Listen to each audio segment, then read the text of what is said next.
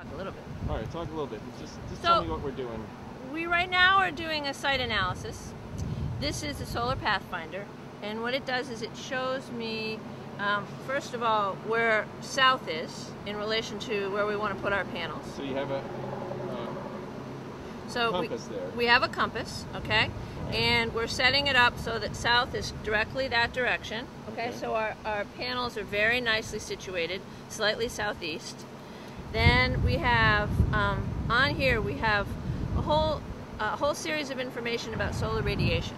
And it tells me during the winter, it shows me if there's any shading, how much solar radiation will lose, which really helps determine the efficiencies of the system. And what I will do is I'm going to put this cap on top, this dome, and when you look directly down on the dome, let me see if I can set it up for you, you can see, oh, we're getting shading from the bucket. Um, All right, well let's switch. That's good. All right, go ahead. so what that will show us is, that will show us any shading issues on the site. So if there was a tree, we would see shading over the area of the roof that is that uh, that's going to cause a problem. So, the, so we're seeing a reflection of all the trees and everything surrounding the roof That's in that correct. dome. So that dome in that reflection, right, so and you there's the sun don't have to worry. yeah, You don't have to worry about cloud cover, of course. All you have to worry about are structures and trees. So as we look around, And this this first line here is December, and that's the shortest month of the year. And this is what we're really concerned about. These first the- three months, right in here. Yep. Oh, okay. And let me show you.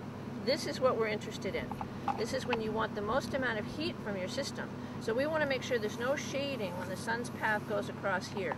That's the lowest part. That's the look. So here we go. So now you can look at it and let's see. We have absolutely no issues with shading, which is exactly what we want. And it'd be very hard to know this if we weren't up here on the bucket. I mean, we made a good educated guess when we came here, you know, a few months ago to know that if up this high, we weren't going to have a problem with trees. So we so we were down in the driveway. We were, and, and it's it's a, it's a little difficult to tell from down there. But as you can see, we were right. When you come up and you take a take a look through the dome, there's no issues, uh, which is great. So you're going to not have any problem with efficiencies from these tubes.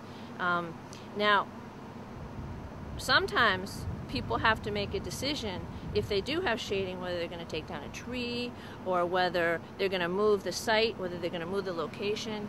Um, so you know that it can be real tricky